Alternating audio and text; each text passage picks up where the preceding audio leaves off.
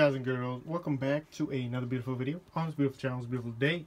So i guess i just want to show you a simple way to make potato chips at home. Now i just have some regular potatoes that i cut up in a mandolin. So my mandolin looks like this.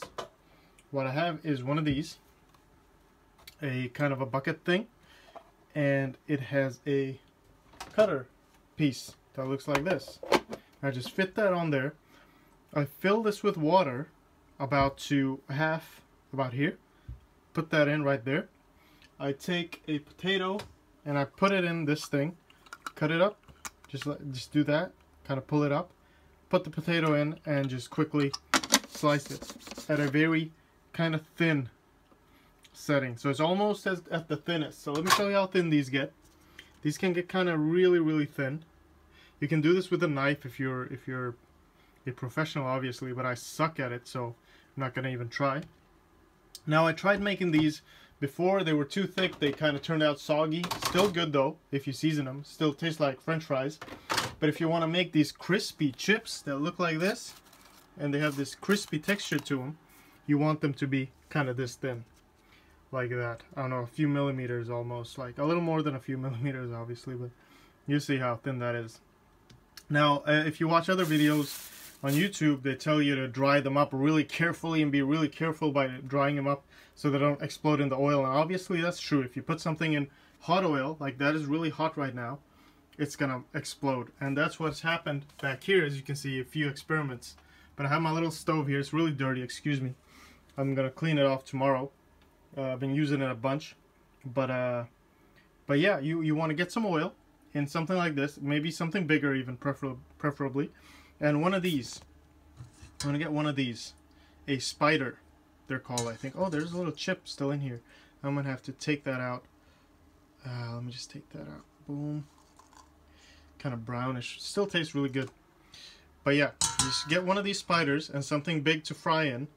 You can use an air fryer if you don't want to use oil. Obviously, that's the most nutritious or the most uh, healthy option. But otherwise, for the rest of us, you just take an, a potato, put it up, cut it up into small pieces, and then you don't have to dry them. This is my trick. So I, I heat this up to max. See, it's on max, but the oil is not on the pan. I just heat it up to max, then I take it off the pan and I'll leave it there. So what I do is I take this, I put some potatoes in here, and I just slowly dip them and take them out. Dip them and take them out. So the water kind of heats off. It goes off. All right, it goes away. And that way I get potatoes that aren't uh, that won't explode. So I'm just gonna put some potatoes in here now just one a few pieces at a time. I'm gonna cook these last ones up. See how, how thin they are? So I'm just gonna cook these last ones up uh, right here. Excuse my toilet paper roll. This is what I use to dry stuff off on the table. But I'm just gonna do this. Before this falls I'm gonna put it a little more up like this uh, it's kind of dangerous, but alright, let's see. I live on the edge. So I'm going to put all of these in, just like that. Uh, and let them kind of fall in because it's not that hot right now. I'll let it fall in. Uh, I'm just going to put everything in there. But what I usually would do, I'll just take them out, let them kind of get that water off, and then put them in again. And then take them off for a little while. And when the oil's really hot. But it's off the stove thing, so that means that it doesn't really explode. It's kind of going down in, in uh, what do you call it, in temperature. So you just want to get all those potatoes out. I'm going to let those fry. I'm going to put the rest of them in. Now I can just throw them in kind of, but uh, but yeah, and as they're lying here, as you fry these in batches, they're going to automatically kind of, what do you call it, uh, dry off because they're in the heat right? And you're just putting them above like that and you're leaving them out here on a, a preferably a dry towel or something like that. And when you're finished with it you can just clean it or you use it. So uh, so yeah so I got my potatoes in. I'm gonna put the rest of them in. And remember I just threw them in now because the oil isn't that that hot. But I'll still let it just dry up a little bit. And then I'm gonna put these in in the on the plate. So it takes about maybe how long does it take? 10, depends on my, uh, depends on your wattage or how hot your oil gets. But it might take up to like 5 to 10 minutes per batch like this. If you put too many in, the oil's temperature sinks and it's really like they, they might not get fried that quickly. So I'm going to put this back on here as it's really hot. And I'm just going to let that fry. And it's going to take about, like I said, 5 to 10 minutes for this batch to be finished. And when they come out, they're to look like this. And what you do after that is you just take some sea salt or whatever salt you want.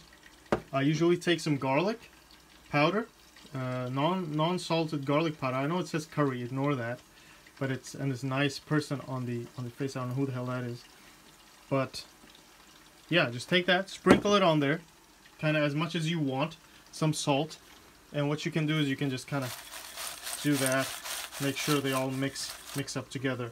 And this is a little healthier version of, of chips. Obviously, it's fried but you can make these in the microwave if you have time. Just put them on a big plate microwave them uh, if you would want to bake these you could.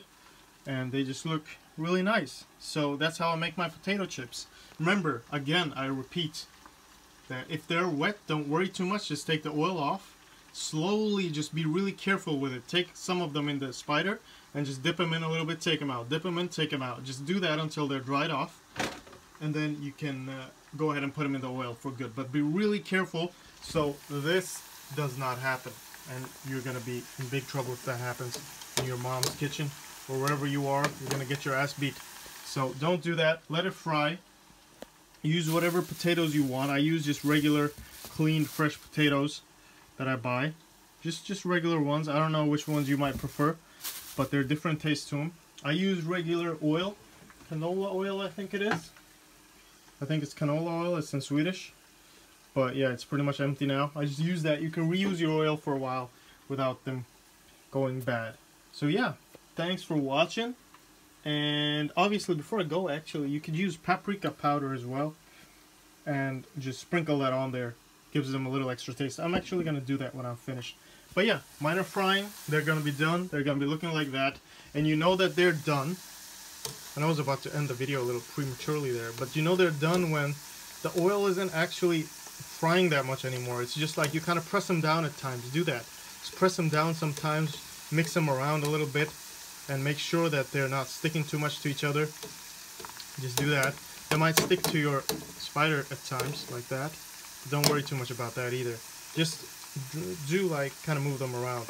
After a while, it's to stop sizzling as much. You're to see this brownish, reddish color on them when you move your spider over them, they're to be, uh, uh, when you move it around, it's to be a little crispy feeling. So, uh, so yeah, just experiment with that. Be careful with the oil and you'll be good. So thanks for watching. Take care. Enjoy making these beautiful chips. Yeah, yeah. And I'll see you in the next one, right? Bye-bye.